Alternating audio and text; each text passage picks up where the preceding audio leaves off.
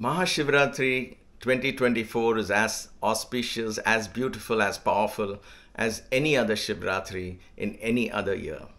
Why? Because the celestial bodies realign themselves in such a way that the vibrations, the biomagnetic energies empower the body, mind, and the spirit to realize the deep oneness, the Kaivalya that lies within. Maya is traveling and out of the country, so we will not be able to offer anything online live as we did the last few years, but nevertheless, take this time to go within and may the divine Shiva energy, your true self, guide you to higher realms of spiritual consciousness. I also choose this occasion to share a short video I had made as part of the KYG Shrine series. It was meant to come later, but nevertheless, I thought I will take advantage of this auspicious night and offer this video to the divine and to the divine within all of you. It is about a journey that I want to undertake for my own cleansing, for the clarity of KYG, to make KYG, Kaivalya Yoga Gurukulam, and everything that we stand for a center of healing. Healing not just for the body, but for the mind and for the spirit. A center of powerful energy that brings about a new birth within, a new personality within, where we carve our own path to the ultimate reality. May the divine in all of us guide us and bless us in this beautiful journey of life that we are all in. Have a blessed Shivratri. Thank you. क्लीं कैवल्य ॐ Namaste. Welcome to KYG Kaivalya Yoga Gurukulam. We are doing the series on the K, uh, we call it the KYG Shrine series. So if this is the first video you're bumping into, then please go to our channel KYG Yoga on YouTube. Check out the playlist called the KYG Shrine and follow them in sequence so that you will know the context in which I am talking. In this episode, I want to talk about two very personal and very special features of the KYG shrine, which is perhaps so unique that it, will, it is not there anywhere in the world. Um, and I say this with all humility, and that is the eye in the lingam and the stones in the crown of Adi Shakti. What makes this very special and very unique here in the Kaivalya Yoga Gurukulam is divine grace. Every act, every portion of this Kaivalya Gurukulam, every part of KYG, everything that we are going, we are doing here by offering here is guided by the divine. This lingam, as it was being made, the sculptor wanted to draw something as they normally do for the third eye and create vibhuti marks and so on. I said, no, that, that's not Kaivalya Lingam. I don't want that at this moment. Just keep it blank. And then, as months progressed, in the vision that was presented to me, this happened. What you see here is a shaligramam. Shaligramam is shaligram or shaligramam is a very unique stone that is found in certain river beds in North India and sometimes even in the South India. What is so special about this particular unique shaligram? Did I pick it up in a store? Did I find it in a river? Uh, no. This was a divine gift, a divine materialization personally given to my father by our beloved Guru Bhagwan Sri Satya Sai Baba.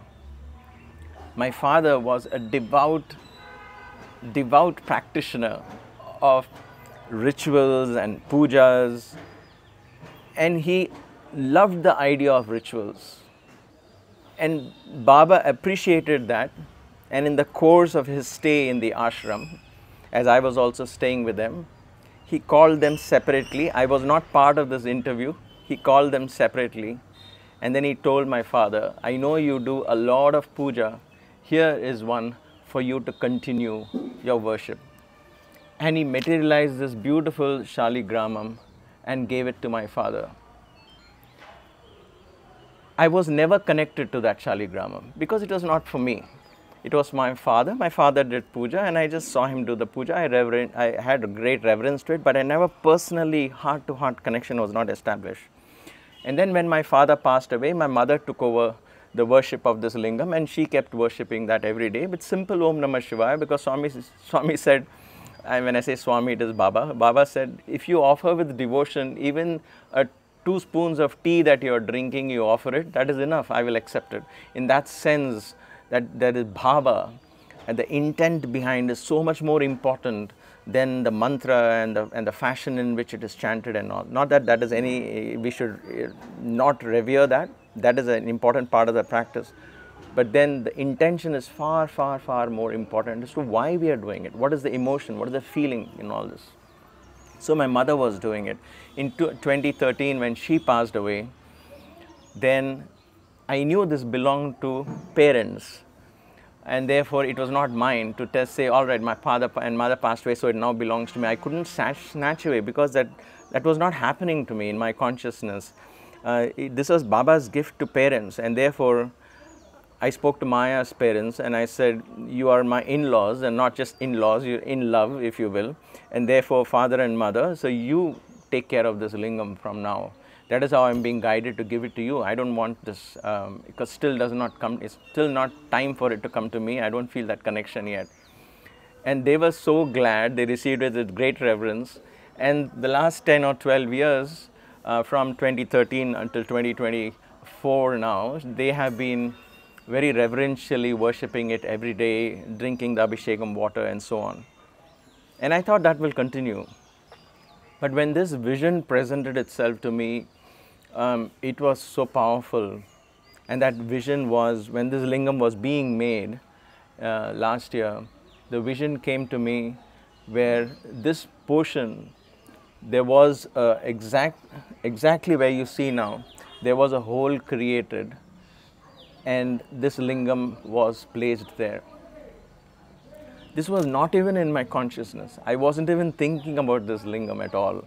Because this belonged to them, they are worshipping. I said, This is the KYG lingam, and so on. I was thinking on my own. But when this came, I jumped up from my bed and I said, Oh my gosh, this is where it finally needs to rest.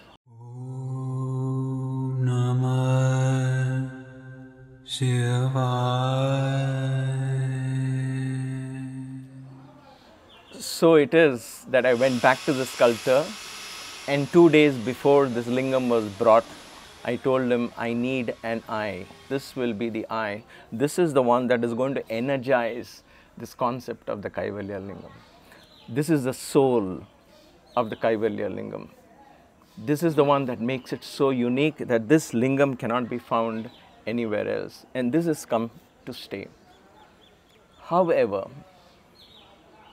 the guidance that is coming to me, the feeling that is coming to me is that I need to do austerity and penance to earn this lingam. Not that it has to belong to me, but earn the right to worship, earn the privilege to tomorrow offer water on it.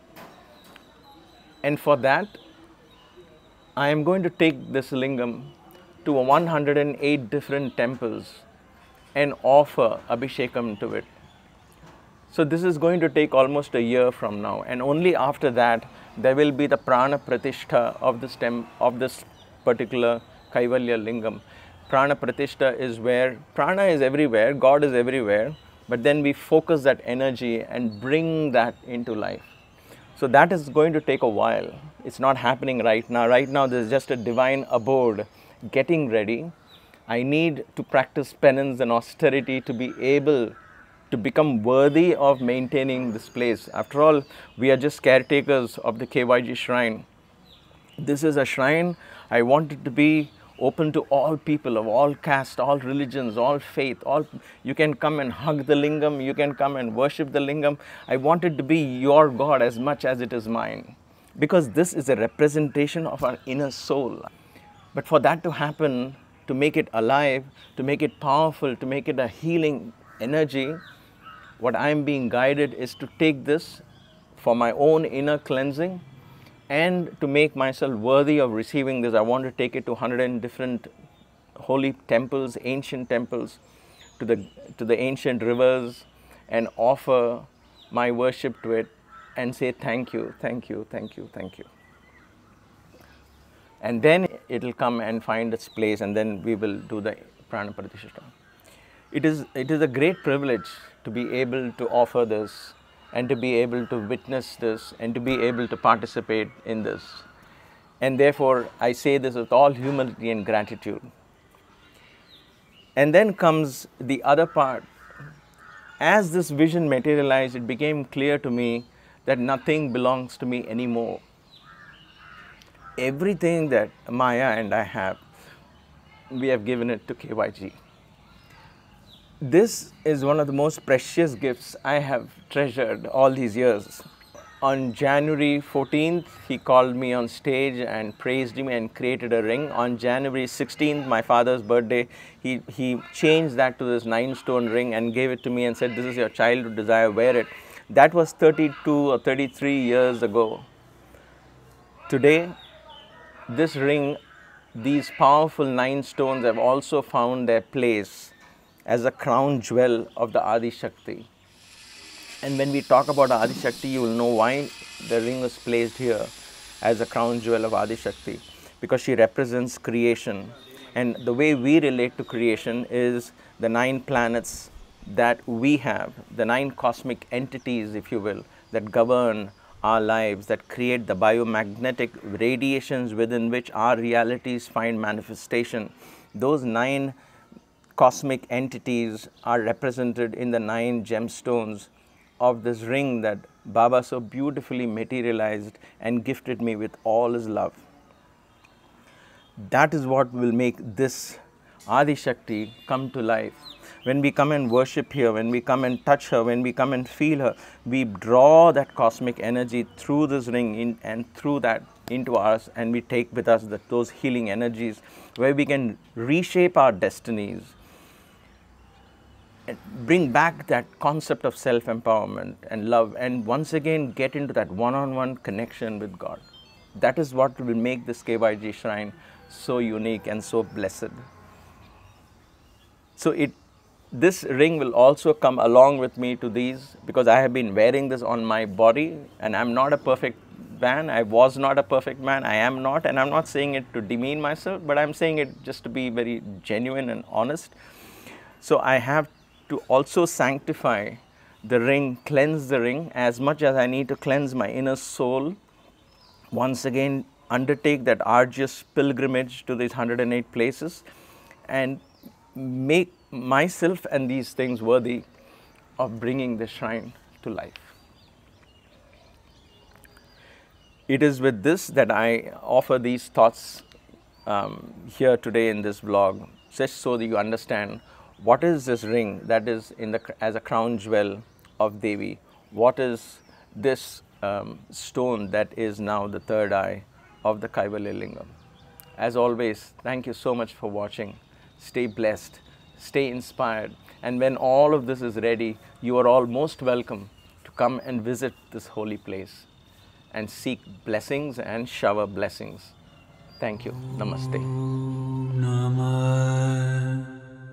小白